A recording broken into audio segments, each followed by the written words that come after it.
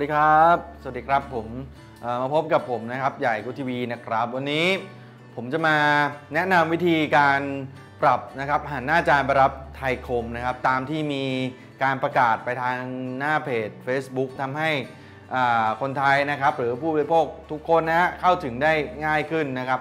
เพียงแค่การนำกล่องนะครับไปปลั๊กอินนะครับกับจานระบบ KU Band ที่บ้านนะก็สามารถรับชมคอนเทนต์ระดับโลกแบบนี้ได้แล้วนะครับ ก่อนอื่นเลยผมมาถึงลูกค้านะครับของกูทีวีที่ใช้งานระบบกล่องซื้อขาดขายขาดนะครับที่เป็นกล่องของคุณลูกค้าเอง ปัจจุบันคุณลูกค้าเนี่ยจะใช้ในส่วนของการรับสัญญาณจากดาวเทียม Intelsat นะครับดังนั้นเนี่ยจะต้องมีการหันหน้าจานนะครับเล็กน้อยนะฮะมารับสัญญาณจากไทยคมนะครับโดยเราจะมาเริ่มต้นตามวิธีการดังนี้ครับ ลูกค้าที่ใช้ เวอร์ชันปัจจุบันเราจะเช็คอย่างไรนะครับ ก่อนที่เราจะมีการอัปเกรดไปที่ไทยคมกันนะครับ กดเมนูครับนะฮะจากนั้นนะครับกรอบสีเหลืองอยู่ที่รูปจานดาวเทียมนะครับ ให้เราเลื่อนกรอบสีเหลืองนะครับ ทางซ้ายนะครับลงมานะครับ ที่รูป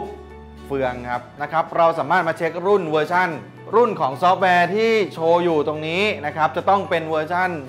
1.84 ขึ้นไปเท่านั้นนะครับ ไม่ต่ำกว่านี้ ถ้าต่ำกว่านี้ลูกค้าจะต้องทำการ OTA ก่อนนะครับ โดยการถอดปลั๊กนะครับแล้วเสียบใหม่ ให้มันมีการแฟลชข้อมูลต่างๆนะครับประมาณ 5 นาทีให้เรียบร้อยก่อนนะครับจนมาเช็ครุ่นแล้วเนี่ยเป็นรุ่นปัจจุบันนะครับ 1.84 ขึ้นไป อันนี้ถือว่าใช้ได้นะครับ เลื่อนกรอบสีเหลืองกลับไปที่รูปจานอีกครั้งหนึ่งนะครับนะครับ ขั้นตอนนี้นะครับจะมีรหัสเด้งขึ้นมาครับให้ใส่หมายเลข 0 4 ตัวครับ มันจะเด้งมาที่บรรทัดแรกการตั้งค่าดาวเทียม กดโอเคเลยครับ หน้าที่ขึ้นต้นมาเนี่ยนะครับจะขึ้นคำว่าดาวเทียม Intelsat นะครับมีตัวย่อเป็น S2 นะครับตัวนี้จะเป็นสัญญาณที่เรารับอยู่ปัจจุบันนะครับก็คือดาวเทียม Intelsat นั่นเองนะครับกดโอเคหนึ่งครั้งนะครับพอกดเรียบร้อยเนี่ยให้เราเลื่อนไปที่คำว่าไทยคม 8 KU ครับแล้วกดโอเคครับ ความถี่บรรทัดที่ 3 นะครับ จะเป็นความถี่ MB แบบ Universal นะครับ ก็คือเป็น 9750ทับ1000นะครับ แล้วก็ transponder นะครับ บรรทัดนี้นะครับจะเขียนว่า 11680 นะครับ ความถี่นี้ ตัวเลขต่อไปก็คือเป็นตัวเลข 30,000 สังเกตได้ว่าสัญญาณและคุณภาพด้านล่างแถบ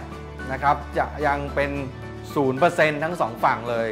ถ้าเกิดขึ้นแบบนี้หมายความว่าลูกค้าที่ใช้สัญญาณ Intelsat รับกล่องกุทีวีของเราอยู่เนี้ยส่วนใหญ่จะเป็นประเภท LNB เดียว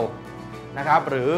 ติดตั้งแบบหัวเดียวนะครับไม่มีดูโอไทยคมไว้ หรือรุ่นนี้นะครับเราจะเรียกหัวดูโอ K324 นะครับเป็นฝาสี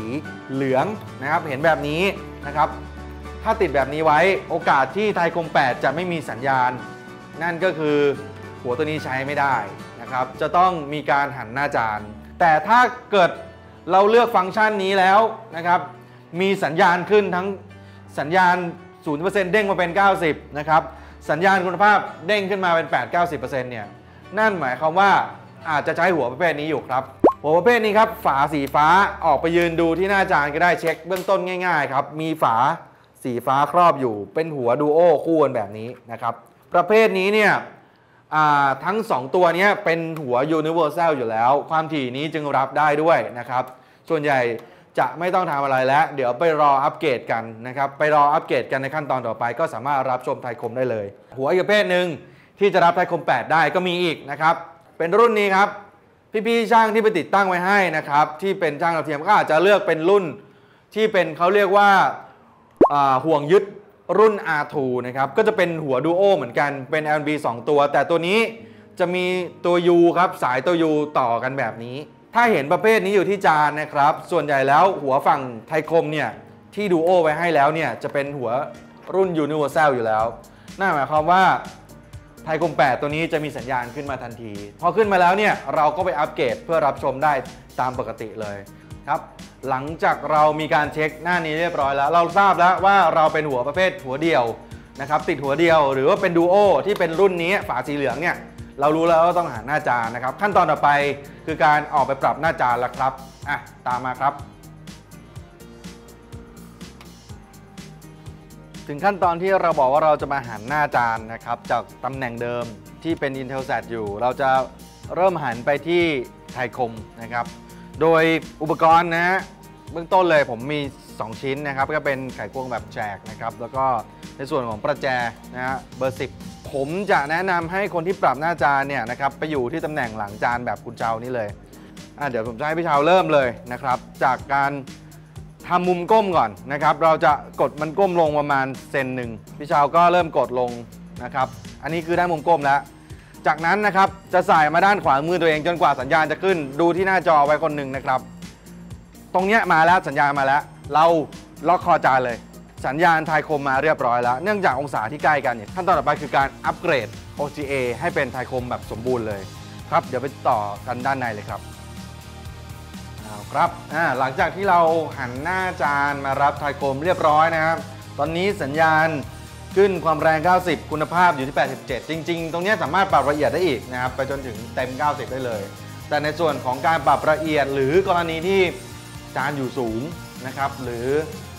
เครื่องมือเครื่องไม้เครื่องมือเราไม่พร้อมเนี่ยนะครับแล้วก็ลดความเสี่ยงอันตรายด้วย ผมว่าให้ผู้เชี่ยวชาญอย่างช่างดาวเทียมนะครับที่อยู่ใกล้บ้านเราเนี่ยให้มาทำให้ ซึ่งมีค่าใช้จ่ายไม่แพงครับรอบนี้เนี่ยเราปรับกันอยู่ประมาณ 500 บาทนะฮะโดยประมาณ แล้วก็หลังจากช่างเขาปรับให้แล้วเนี่ยเดี๋ยวเราลงทะเบียนนะฮะเราจะชดเชยในการดูช่องพรีเมียมให้ฟรี 3 เดือนนะครับมูลค่า 900 บาทเลย ตรงนั้นชดเชยให้นะครับขั้นตอนนี้เราเห็นแล้วนะครับว่า เราเจอสัญญาณไทยคมแล้วนะครับ เรากด exit เลยครับจากหน้านี้ เจ้าค่าพวกนี้มันจะถูกบันทึกไว้เรียบร้อยนะครับ ไปที่รูปเฟืองอีกครั้งหนึ่งนะครับ เลื่อนลงไปครับคำว่าอัปเกรด แล้วก็โอเคหนึ่งครั้งครับ ให้เลื่อนมาบรรทัดที่ 2 ครับ อัปเกรดโดย OTA ครับ ตรงนี้ค่าจะเป็นค่าเดิมอยู่นะเราต้องเปลี่ยนนะครับ เปลี่ยนทีละบรรทัดตามผมนะครับ บรรทัดที่1นะครับนะไทยคม 8 KU ครับ เลือกเรียบร้อยนะครับ กดโอเค มาบรรทัดที่ 2 ครับ ปลี่ยนความถี่ครับให้เป็น 1 1 6 8 และก็ 0 ครับ อ่า นะครับ กดโอเคนะครับ เพื่อบันทึกค่าและเลื่อนมาบรรทัดที่ 3 ครับ Symbol Rate นะครับ ให้เปลี่ยนเป็นตัวเลข 30,000 ครับ แล้วกดโอเคครับ เพื่อบันทึกค่าตัวนี้ และเลื่อนมาบรรทัดที่ 4 ครับ ตัวนี้ค่า polarization นะครับ เป็น vertical อยู่นะครับ แล้วกดโอเค เลื่อนค่านี้ให้กลายเป็นคำว่า horizontal ซอนทอนนะครับ จากนั้นให้เลื่อนบรรทัดล่าสุดครับ กดคำว่า upgrade โดย OTA ครับ